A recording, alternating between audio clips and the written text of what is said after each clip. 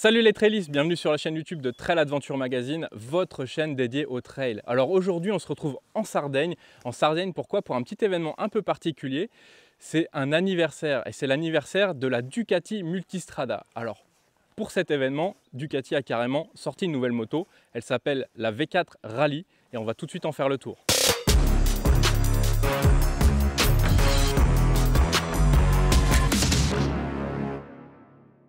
La Ducati Multistrada V4, vous la connaissez déjà, mais la V4 Rally, c'est une évolution dédiée un petit peu plus au off-road et au voyage. Alors on retrouve toujours ce cadre monocoque en aluminium qui entoure ce gros moteur V4 de 170 chevaux et 12,3 mètres kg de couple, donc un moteur assez péchu, un moteur assez coupleux qui vient un petit peu chercher son régime max euh, assez haut dans les tours. Ce moteur il a quand même évolué au niveau de la consommation et de la dépollution en fait. Au niveau de la consommation pourquoi? Parce que c'est un moteur qui consommait déjà pas mal. Ducati a décidé d'améliorer un petit système qui existait déjà. On pouvait déjà déconnecter les cylindres arrière pour obtenir comme un, espèce de petit V-twin, mais c'était uniquement l'arrêt.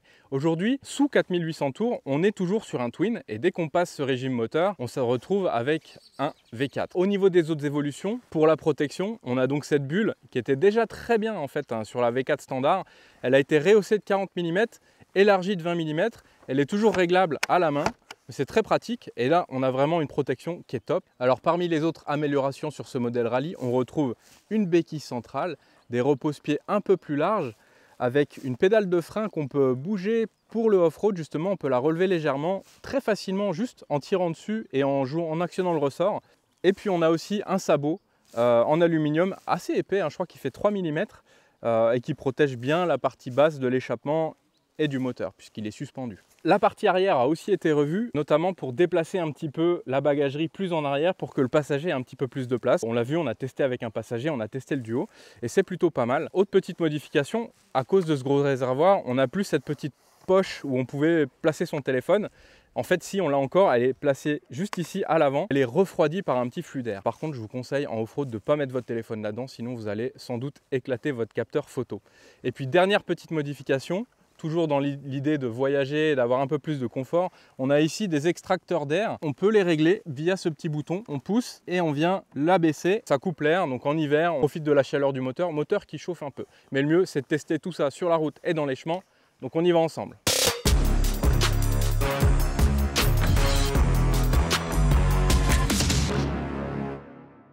C'est parti pour l'essai routier tout d'abord de la Ducati Multistrada V4 version rallye.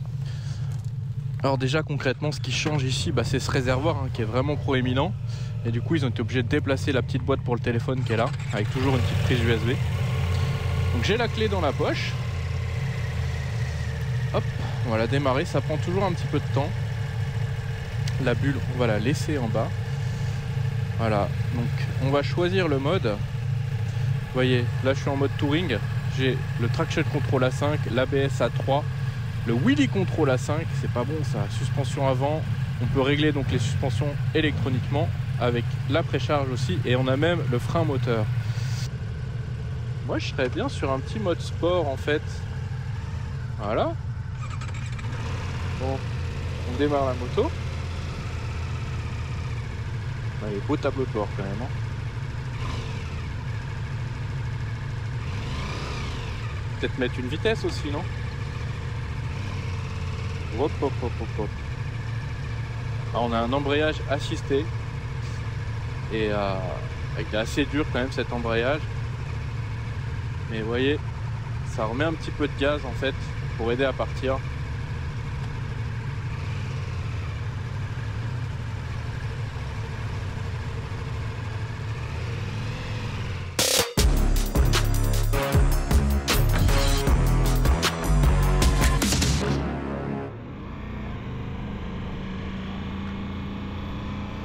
Ferme le casque, bien verrouillé, on éteint le clignotant. Bon alors quand on roule avec Ducati c'est toujours un rythme un peu tranquillou.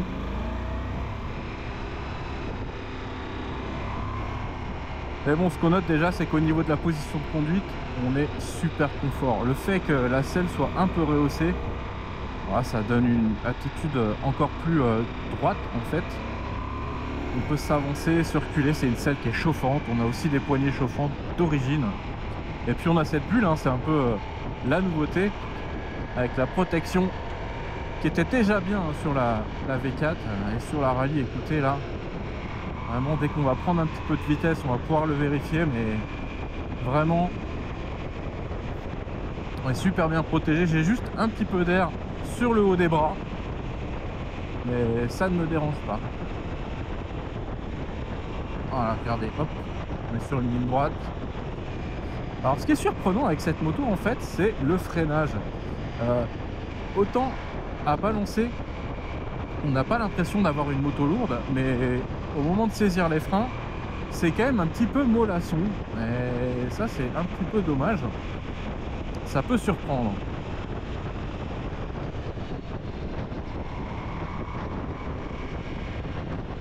Bon alors dès que ça tourne, ça devient super intéressant parce qu'on est sur une moto qui est vraiment vraiment agile. Il n'y a même pas besoin d'appuyer sur le guidon en fait, elle tourne toute seule. Ah regardez quoi. Elle se manie vraiment hyper facilement. Alors concernant le moteur, écoutez, un V4, c'est un peu le Graal.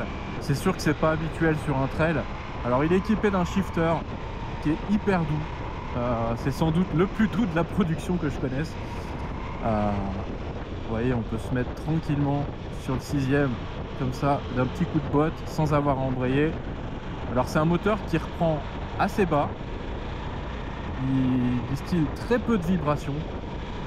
Il manquerait presque un petit peu de caractère comme ça à bas régime. Alors je vais vous expliquer pourquoi, c'est parce qu'en fait sous 3008, je crois que j'ai dit 4008 tout à l'heure, mais c'est 3008, euh, on est sur un twin en fait, il n'y a que les deux cylindres avant qui fonctionnent. Alors c'est très, c'est pas facile à percevoir en fait, hein, mais dès qu'on passe les 4000, hop, on passe sur un V4 et là tout de suite, il y a de la patate. Alors, mal... Ah, on a les chèvres. Bah ouais, mais les chèvres... Euh, faut pas trop aller les emmerder les chèvres. Quand même aller les filmer un peu. Ah bah le papy, il a son Vespa, il est excellent lui. Ah, il va te mettre un petit coup de bâton. Ah, excellent. Ah, elles ont elles ont l'air bien les biquettes. On a eu les zèbres euh, la semaine dernière. C'est un petit peu moins dépaysant. Mais bon, qu'est-ce que je vous disais alors Je vous parlais du moteur et de son comportement V4, V2, enfin pas V2 du coup, euh, cylindre parallèle, passage au V4. Et donc bah il est coupleux. On est à plus de 12 mètres kg de couple. Mais bon bah faut aller les chercher assez haut quoi. Faut aller euh, presque, euh, presque au-dessus de 6000 pour commencer à faire, faire causer la machine. Mais quand elle y va, attention elle y va. Parce que sur la route, sur le mode euh, sport, on a accès directement aux 170 chevaux. En revanche, en off-road, quand on passe sur le mode enduro, cette fois on passe à 114 chevaux. Et vous allez voir tout de suite, c'est largement suffisant.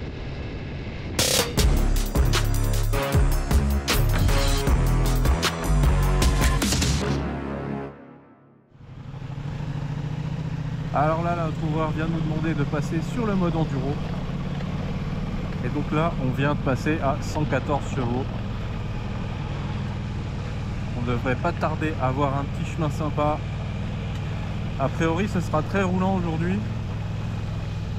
On a quand même fait copain avec euh, l'ouvreur puisque c'était le même, enfin le fermeur plutôt qu'à la 800 DE. Et donc, euh, on a autorisé à aller faire 2-3 trucs un peu cool en sa compagnie.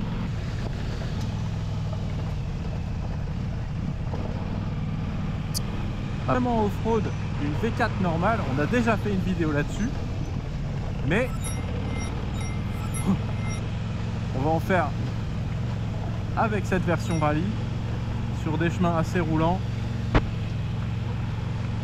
La selle est assez large, donc on, la serre, on serre la selle avec les genoux. En revanche, la, forme du nouveau réservoir est plutôt cool pour venir s'avancer sur la moto. C'est assez... Euh,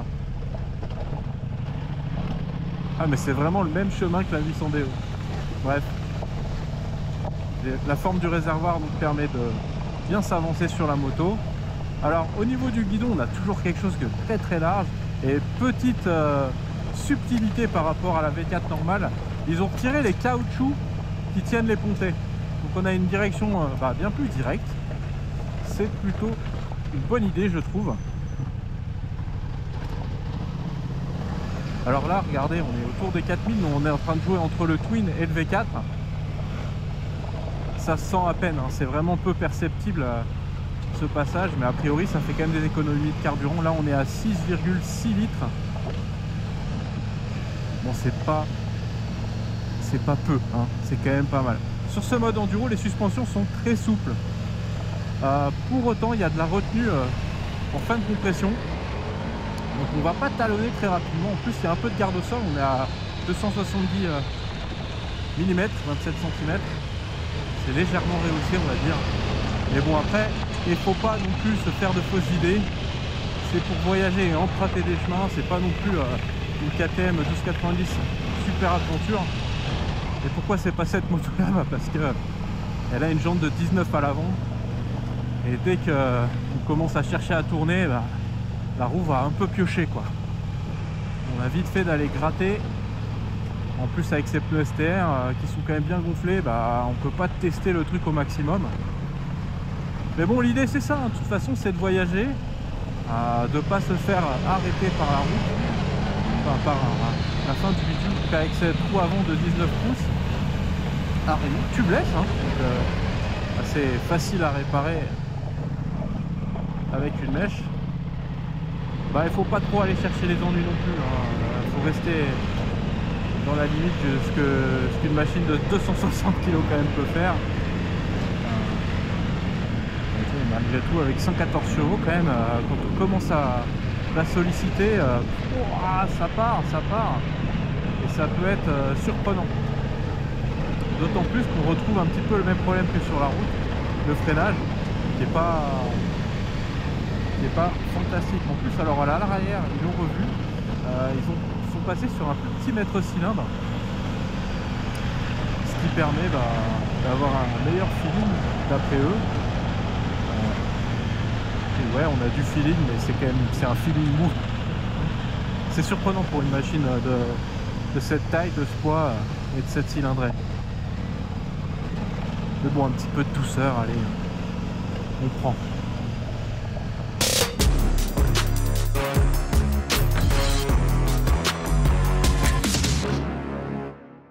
Alors voici pour cet essai de la Multistrada V4 Rally. Alors ce que je peux vous dire d'emblée, c'est que c'est vraiment une version bien upgradée. Effectivement, on a plein de petits accessoires qui font que la moto est meilleure, mais on a surtout un comportement grâce à ses suspensions, aussi bien sur route qu'en off-road, qui est nettement amélioré. On a vraiment un confort qui est bien meilleur, et du coup, on vient vraiment en frontal face à la cible de tous les gros trails du monde, l'AGS. Alors par contre, au niveau du tarif, on est un petit peu au-dessus. On est à 27 590 euros une GS coûte environ 26 000 euros avec les packs. Euh, malgré tout, on a quand même une moto qui est bardée d'électronique. Elle n'a pas grand chose à envier en fait à la GS, si ce n'est peut-être son équilibre à, bas, enfin, à basse vitesse grâce à son boxeur. Euh, on est sur une moto qui fait quand même 170 chevaux et dans la catégorie, il y en a d'autres comme ça. Il y a notamment la KTM 1290 Super Adventuraire. Alors ce modèle-là, il profite quand même de jantes de 21 pouces et 18 à l'arrière. Donc c'est pour le off-road quelque chose que je vous conseillerais encore plus. Euh, en revanche, sur le côté routier, on va plus aller euh, sur une Tiger 1200 Tiger 1200 avec, qui existe aussi avec un réservoir de 30 litres et qui est très très confortable et qui est nettement moins cher puisqu'elle est presque à 15 000 euros. On a aussi dans la même gamme une Africa Twin, encore un petit peu moins chère mais beaucoup moins puissante. La Harley Davidson Pan America c'est une moto qu'on a emmenée au fin fond de la Serbie dans le méga test et honnêtement ça joue aussi. Bon alors nous on est curieux de savoir ce que vous pensez de cette moto aussi. Si vous avez des questions n'hésitez pas dans les commentaires, on y répondra. Quel gros trail vous préférez? Est-ce que vous pensez que la GS sera mieux que cette moto? Est-ce que vous préférez la Triumph Tiger? Est-ce que la KTM Super Adventure R ou même la S euh, vous intéresse par rapport à cette machine?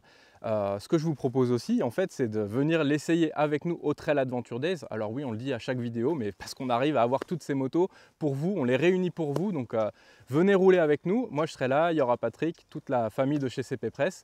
Et donc, ben, on se retrouve là-bas